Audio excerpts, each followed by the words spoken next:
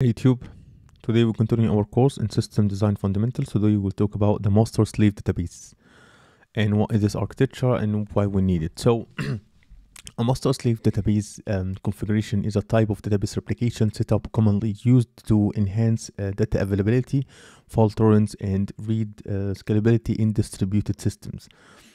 Um, in this configuration, we have uh, main two types of databases the master and the slaves.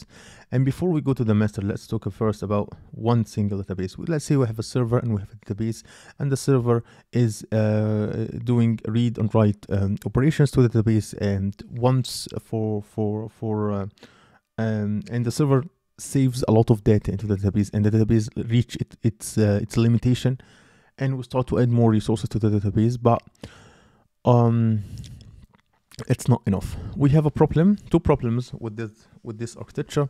The first one is that if this database went down, our server cannot get any data anymore. So we have a single point of failure.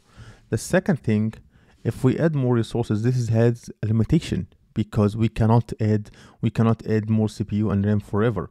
So what is a solution for that is to manage the um, to um, save the data in in more um, have two databases. One to support the write operation and the other one will support the read operation. So we will make sure that our data is not overloaded with loads.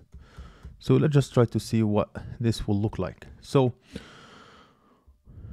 we will have the server and we have the master. We have two types of database as you can see the master and the slave.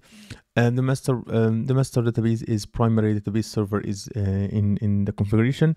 It is responsible for handling both read and uh, write operations but mainly it hand, it's supposed to handle the uh, write operations.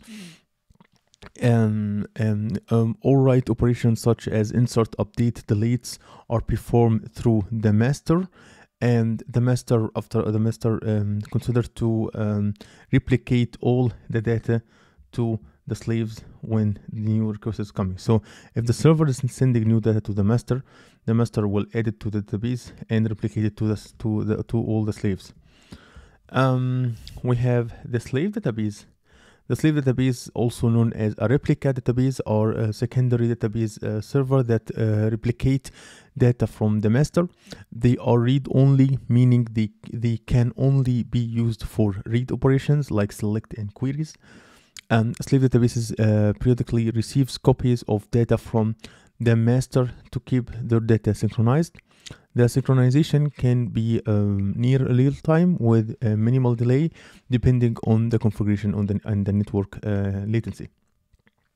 So as you can see right now, if we are in the system that is read heavy, right now the read is, is done by three uh, servers, not only just one. So it's it will be we, we reduce the latency. Uh, let's talk about some benefits of this architecture and uh,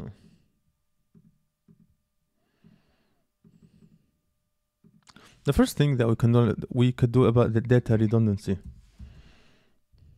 Redundancy so um, master uh, master slave replication provides data redundancy. If the master database becomes unavailable due to a hardware failure or maintenance, one of the slaves can be promoted to act as a new master.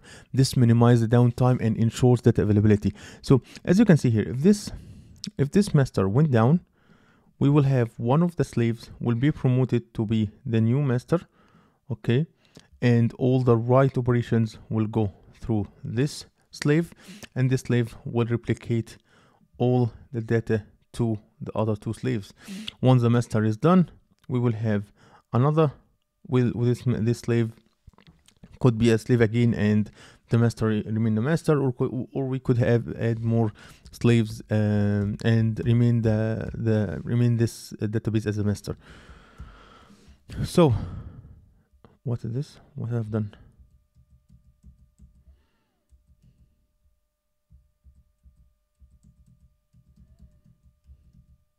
I I removed the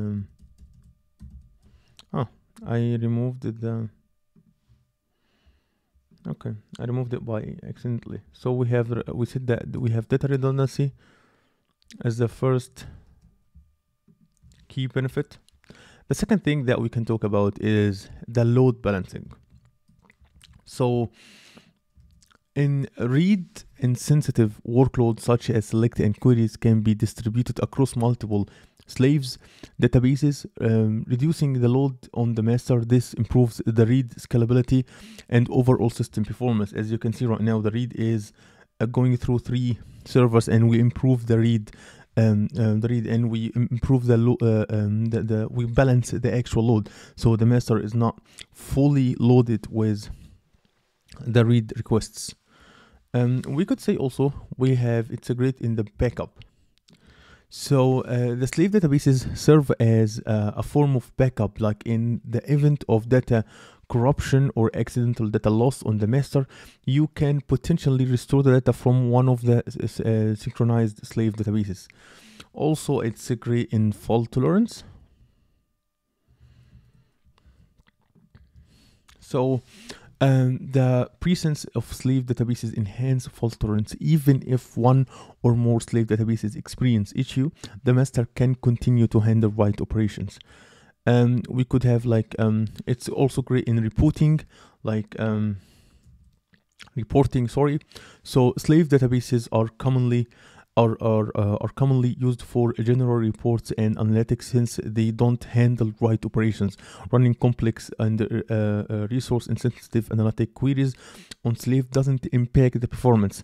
So as you can see, there are a lot of benefits, but also we have some consideration that we should carry about when it comes to work with um, the, the uh, master slave uh, architecture database. So the first thing that we have the synchronization delay. So in this one, there are maybe a slight delay in synchronizations between a master and database. This delay depends on factors like network latency and the replication mechanism. Also, we have considerations about the data consistency. And data consistency. So basically, while the master slave replication ensures data redundancy, it doesn't in, uh, inherently uh, guarantee immediate consistency across all replicas. Applications may need account uh, for eventual eventual consistency. Also, we have um, we uh, could other consideration is that the um, configuration and monitoring because uh, a proper configuration and ongoing monitoring are essential to ensure that the health and the performance of the replicas set up. So we you should have a configuration and monitoring for each replica. Um, we want to talk about the scaling right. So master slave replicas primarily uh, primarily address read scalability and data redundancy for sorry for write scalability. We could use uh, for write scalability we could use other techniques like sharding or complex replica setup like master master uh, maybe will be needed um, we in the future will make will make videos about sharding and the master master uh, database or the multi master databases uh, to see how we handle these uh, types of databases. So in summary, a master slave database configuration is a uh, is available tool for improving data availability, fault tolerance, and the read scalability in distributed uh, data systems. It is commonly used to uh, uh, in scenarios where the read heavy workloads or high available are essentially and required. So that's it for this video, and I hope you like my content. If you like my content, make sure to subscribe and hit the notification bell so you'll never miss a video. And see you guys in future problem.